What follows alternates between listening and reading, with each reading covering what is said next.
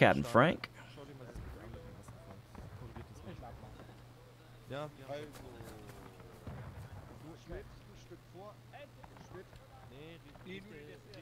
These two armies are just lined up in the field together. Looks cool.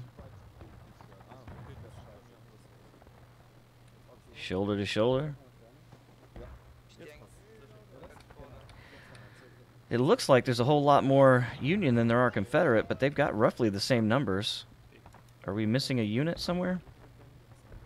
Looks like one of the Confederate units are not here. I no, they got two flags here. I guess they are.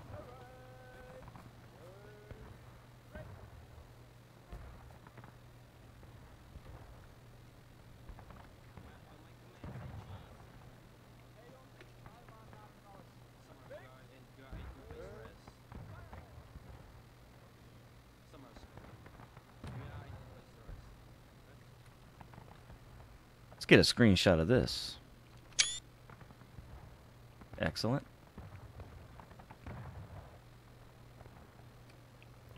Get one of the uh, Union boys all lined up.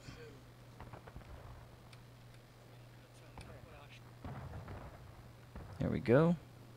Say cheese, boys. And we'll get one of the Confederates lined up as well.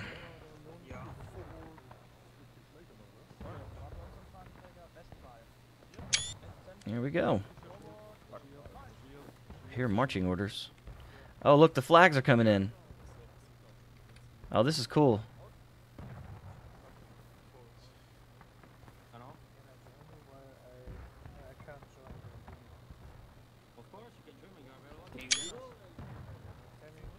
That was cool.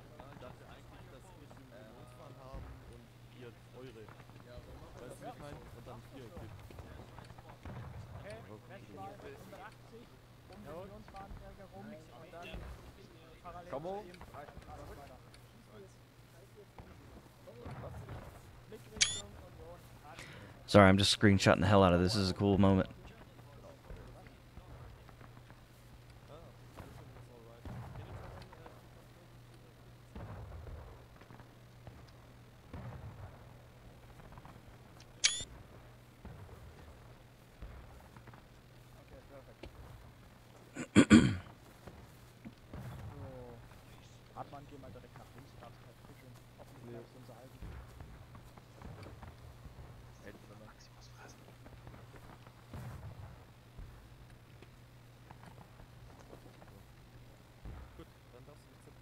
Is very cool. So we got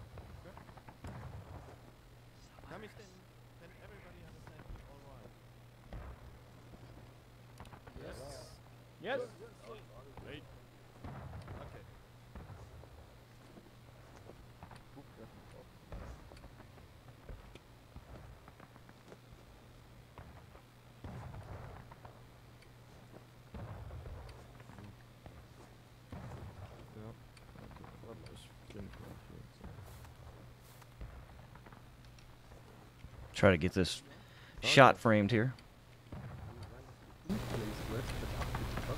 We have gathered here today not only to commemorate a battle, but also its victims.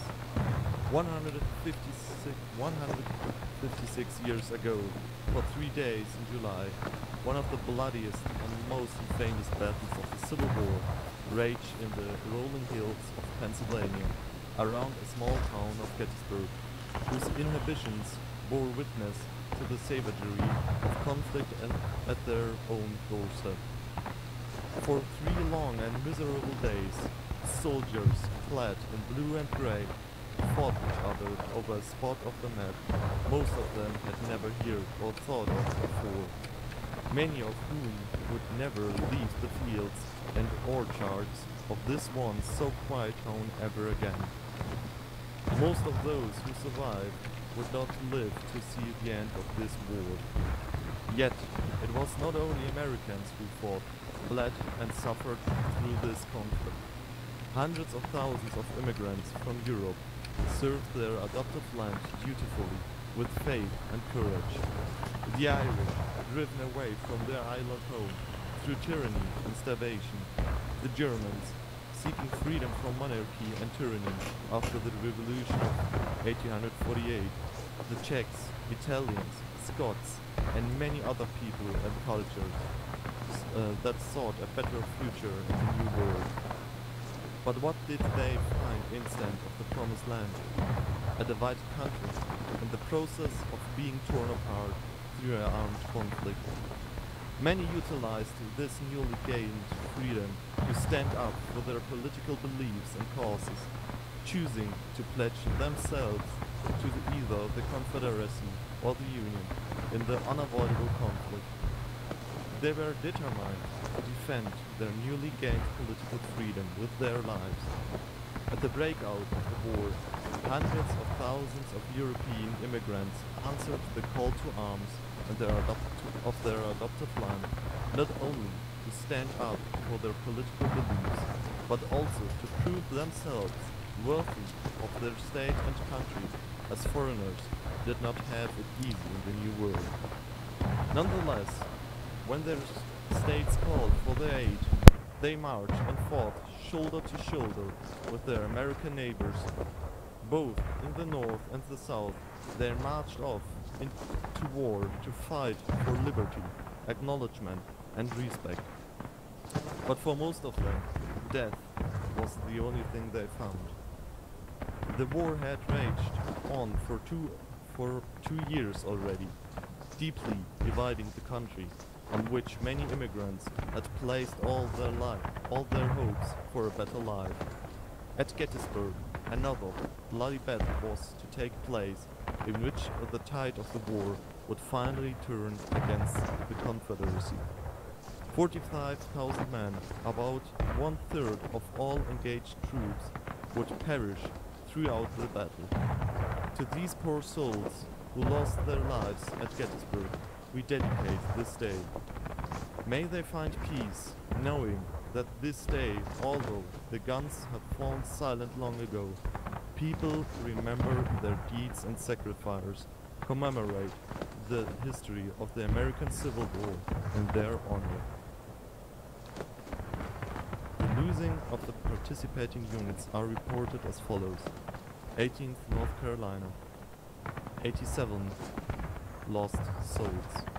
52nd New York, 38 lost souls.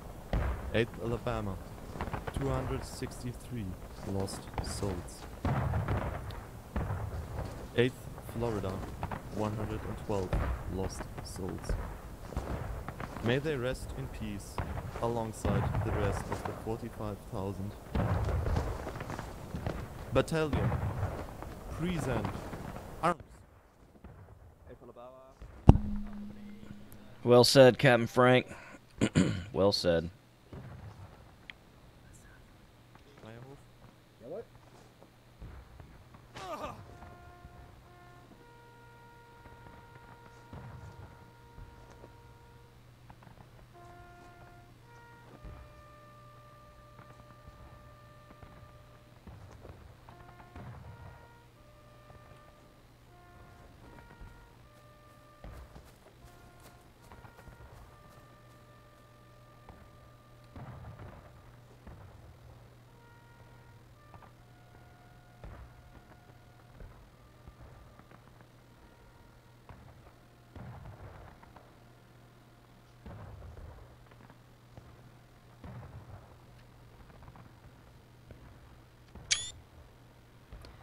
That was awesome.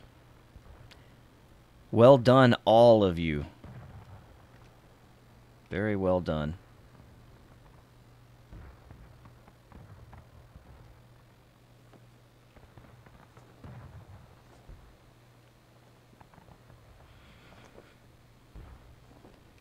This is very cool. Look at these guys all lined up. Shoulder,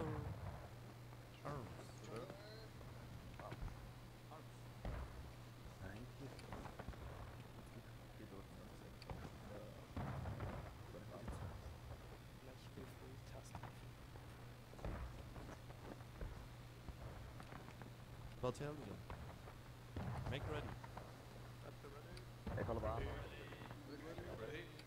Are they gonna kill each other now? Oh, they're gonna salute. Nice.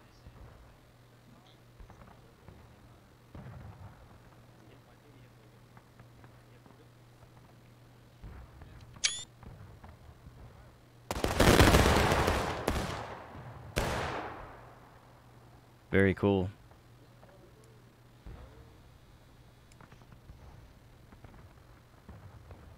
Now smoke is blowing right at me. See if I can get to the other side.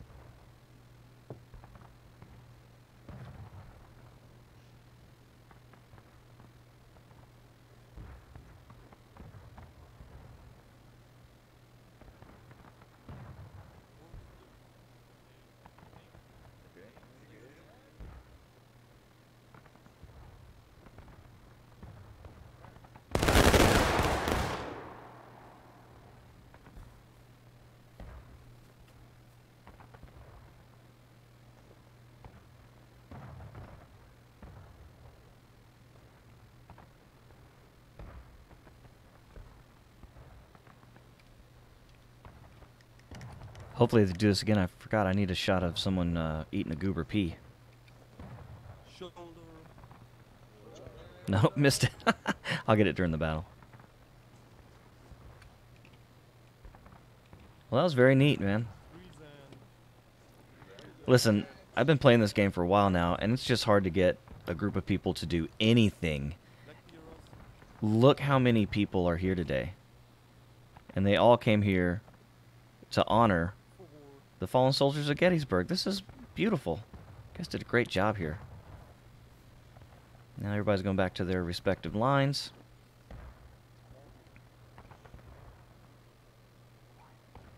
You know, they never really had ceremonies like this necessarily during the war, but they certainly did come together in fields and uh, trade tobacco and things like that.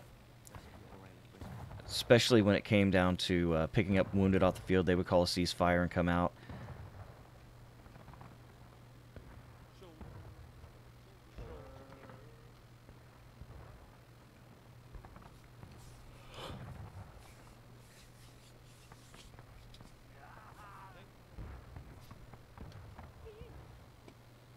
Shoulder.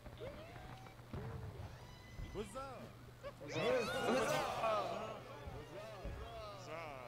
Doing huzzahs and rebel yells.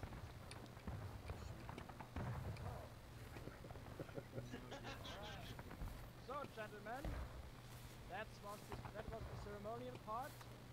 As we said, we want to also fight a few skirmish battle, and therefore we will now restart the server. If you guys want to make the password, make, make it password free, or do you want to keep the password?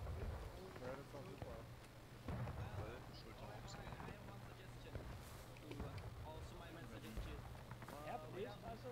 Without the password and avoid to each other right now. Okay, fair point.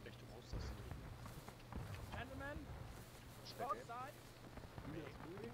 other a volley on my command, of course. Oh, they're gonna they're gonna volley into each other.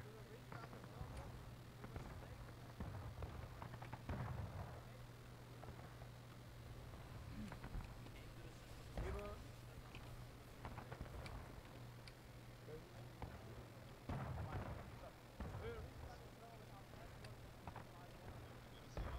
Okay, gentlemen.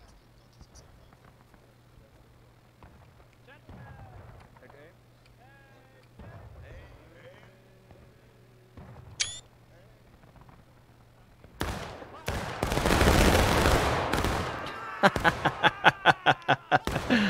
That was awesome.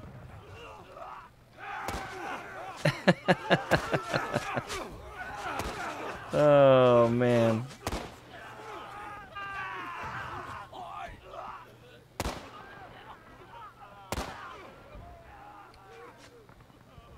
Captain is just unloading his gun. Look, the flag bearers just ran for it. oh, we still got a Yankee out here. Got a private. He's chasing you. oh, he doesn't see the one behind him. He wants that captain. Oh. Well, that was something else right there. All right, so I'm going to stop this stream now, and we'll come back in for the uh, the other ceremony.